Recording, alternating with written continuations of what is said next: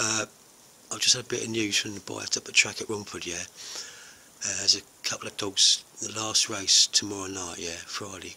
Last race at Romford, yeah. They they reckon the, the one dog's a, a near certainty, yeah.